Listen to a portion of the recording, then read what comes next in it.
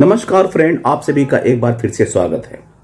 Friends, सात बारह तेईस के बाद जब से एक्सग्रेसिया का मामला उठा है, पेंशनर और पेंशनर विंग्स में ये बातें चर्चा पे हैं एक्सग्रेसिया उचित है, अनुचित है, लेना चाहिए, नहीं लेना चाहिए, ये क्या गेम है, यू बी और आई का, इस बारे में बहुत चर्चा चल रही है। और आए दिन हमारे पास मैसेज आते रहते हैं और हमारे रिटायरी साथी भी इसके बारे में पूछते हैं। एक ऐसा ही मैसेज हमारे बीच में आया है। Dear pensioner friends after the news of some express या instead of pension revision we all are feeling desperate also some calculation of ex gratia is being made viral और अभी से उसके कैलकुलेशन भी आने लगे। हमारे एक साथी ने हमसे पूछा कि आप कैलकुलेशन क्यों नहीं दे रहे हैं? Why you are not giving us the calculation of the ex gratia मुझे कहना पड़ा कि भाई अभी बहुत जल्दी है। इस बारे में केवल गलत या भ्रामक कैलकुलेशन दिया जा सकता है। क्योंकि जब तक किसी चीज़ का बेस ना हो, तब तक हम उसके बारे में कैसे जानकारी दे सकते हैं? और मैं वो प्रोफेशनल वीडियो बनाने वाला नहीं हूँ कि मैं गलत सलत तो आपको दे दूँ। तो सो फ्रेंड अभी ये कहना मुश्किल है। Also some calculation of ex gratia is being made viral I request everybody that we should not calculate ex gratia merely on the basis of rumour and presumptions Still, no amount has been declared. Moreover, it is clearly written in the memorandum that ex gratia, whatsoever it be, will be without prejudice to the right of demand of pensioner on the lines of RBI. और यहाँ भी दो बातें हैं confusion वाली। Without प्रोडिस हमारे कुछ साथी कह रहे हैं कि इससे पेंशन अपडेशन पे फ़र्क नहीं पड़ेगा।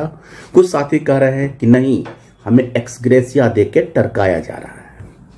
So we should not be so desperate still the case of S B I in which a committee was set up but the commitment committed left the pension updation without any recommendation saying that it will affect other PSP banks. यानी कि जो PSP जो state bank of India के case में committee बनाई गई थी उसने पेंशन अपडेशन के बारे में अपना कोई कमेंट नहीं किया IBA has shown its intention to contest the case and perhaps the ex gratia is declared to satisfy the High Court.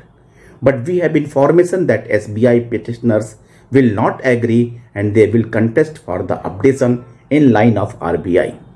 So if SBI get favorable judgment for which they have very solid grounds, it will certainly be for public sector bank also.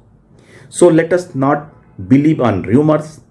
Most probably some ex gratia formula may be decided by 15th oblique 16 December 23 because the next date in High Court is 21st December.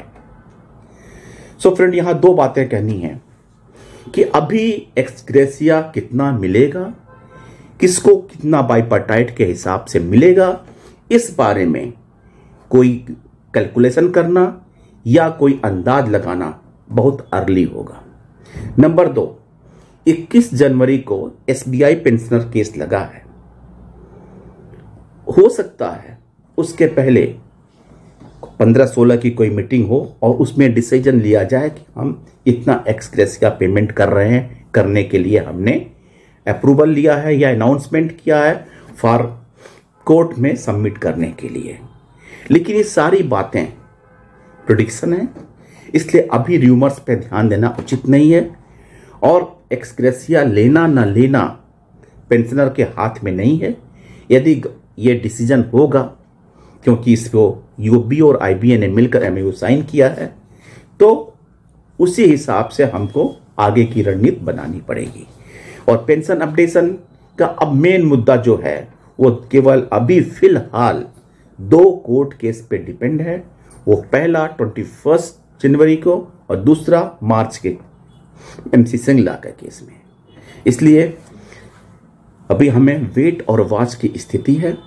अगला IB और BO का जो meeting होगा, उसमें क्या इस मुद्दे पर फर्दर डिस्कशन होता है, तब कुछ कहा जा सकता है।